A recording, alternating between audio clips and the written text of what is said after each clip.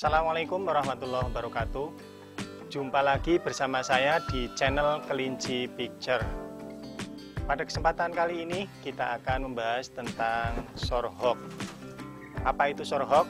Ikuti sampai akhir.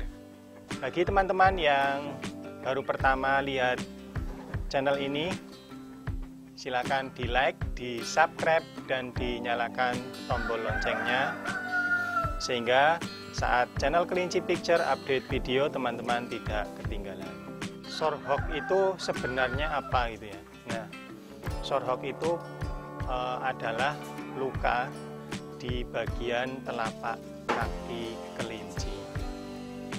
Untuk sorghok ini ada berbagai penyebab. Salah satu di antaranya itu karena e, kelincinya itu terkena skabies terkena skabies ini juga bisa berkelanjutan untuk menjadi sorghok kalau tidak ditangani dengan bagus.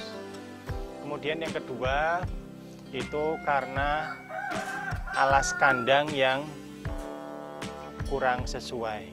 Salah satunya di kandang saya ini ya, ini nanti uh, ini karena ram pakai streaming gitu tanpa dikasih alas bambu itu kemarin menyebabkan sorghok.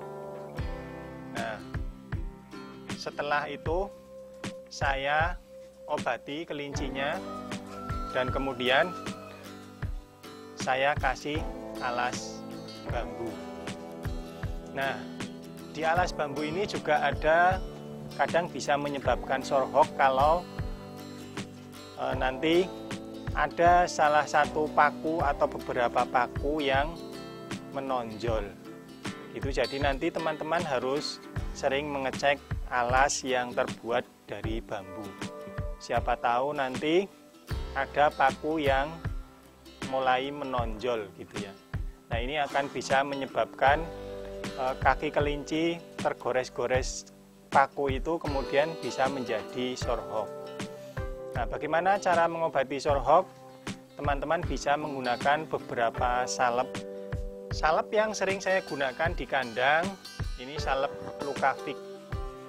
Lukavik ini selain bisa mengobati skabies, juga bisa mengobati sorghok.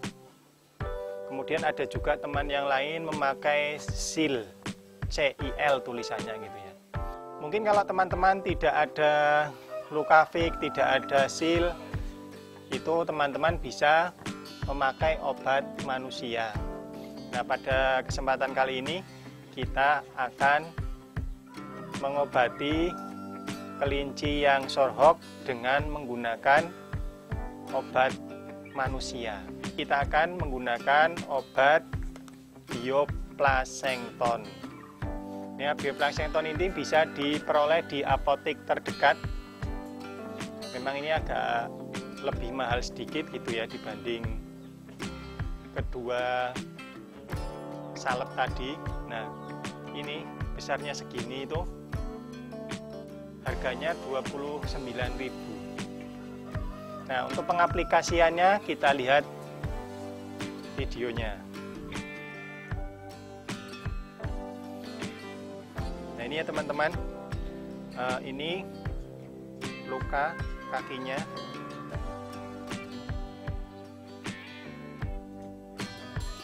ini ya teman-teman ini sorghok nah seperti ini ciri-cirinya. Ada luka di kaki. Nah kita akan mengobatinya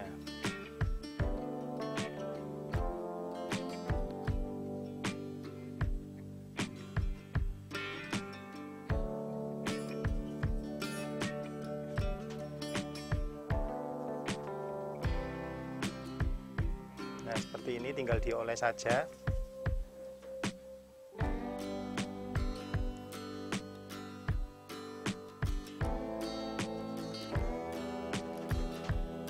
Dioles rata di bagian yang terkena sorghum.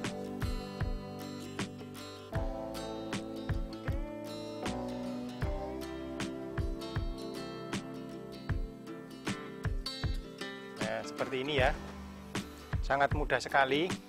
Untuk penggunaan bioplankton ini bisa disesuaikan dengan kebutuhan minimal dua kali sehari. Jadi pagi dan sore hari. Setelah diobati maka alas kandangnya itu bisa diperbaiki eh, gitu ya. Nah nanti teman-teman biar bisa lekas sembuh kelincinya. Mungkin seperti itu saja teman-teman, semoga eh, teman-teman uh, tidak kesulitan lagi untuk mengobati sorhok. Semoga perkembangan peternakan teman-teman berjalan dengan lancar dan saya doakan semoga teman-teman mendapat rizki yang melimpah, rizki yang barokah, dan rizki yang bermanfaat. Jangan lupa di like, di subscribe, dan dinyalakan tombol loncengnya.